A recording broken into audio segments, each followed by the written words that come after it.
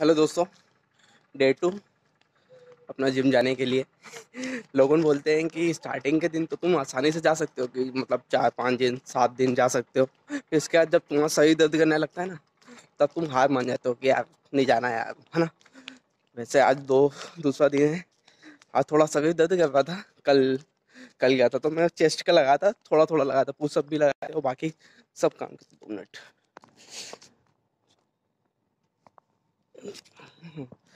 तो बाकी का भी सब चीज़ थोड़ा थोड़ा लगाया है, क्योंकि उन्होंने बोला कि सात दिन तक तुम नॉर्मल चीज़ सीखो कि कैसे क्या काम करते हैं, किसको, किस बेड को उठाने का क्या तरीका है।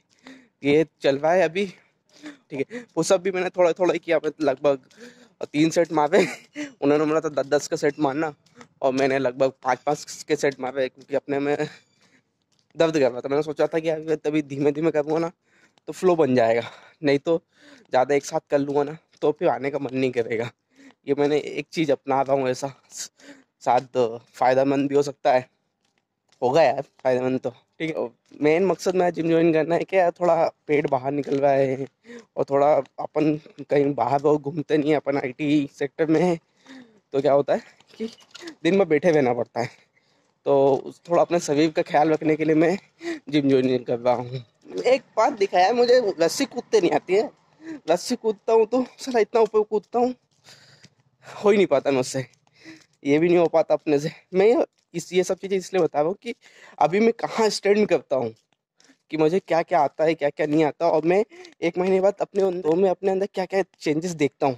इससे भी तुम डिफ्रेंशिएट कर पाओगे ना? तुम एक महीने पहले कहाँ थे और एक महीने बाद कहाँ हो? तो अस, असली में डिफ्रेंशिएट कर पाओगे। इसलिए मैं सब चीज़ बता रहा हूँ कि अभी कमेंट सिचुएशन क्या चल रही है।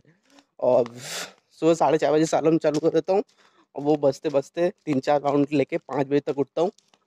अभी वैसे पाँच बजे का जिम का टाइमिंग है, वैसे अभी मैं लेट हो गया हूँ, पाँच बज के पंद्रह मिनट हो गए और वहाँ जाते जाते साढ़े पाँच बज जाएगी।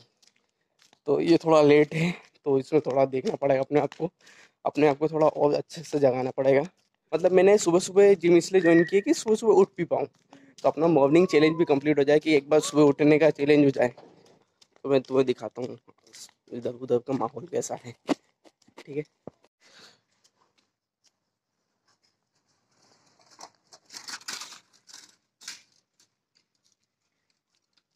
अभी बहुत कम लोग उठे हुए हैं। तो कोई सी भी चीज़ अपन स्टार्ट करते तो अपन सेल्फ डाउट से भरे पड़े रहते हैं कि ये हो पाएगा कि नहीं। मुझे, मैं भी ऐसे ही स्टेट में अभी कि मैं सोच रहा हूँ कि मुझसे ये जिम पूरा हो पाएगा कि नहीं? क्या मैं पतला हो पाऊँगा कि नहीं? क्या मैं अच्छा दिख पाऊँगा कि नहीं? ऐसे ऐसे दिमाग में ख्याल आते हैं बहुत ज़्यादा।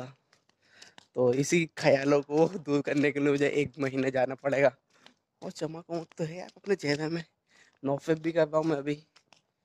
बहुत सारी चीज़ें मैं मतलब मैंने अपनाई है यार मतलब छः महीने, सात महीने से बहुत सारी चीज़ें मैंने अपनाई है। और लगभग हर चीज़ में फेल रहा हूँ मैं कि कंटिन्यू कर नहीं रख पाया। लेकिन अब मुझे पता है कि कैसे अपने आप को कंटिन्यू रखना है और कैसे अपने ऊपर काम करना है। तो लेट्स सी इसको अपन कैसे कंप्लीट करते हैं। मज़ा आएगा लाइफ में।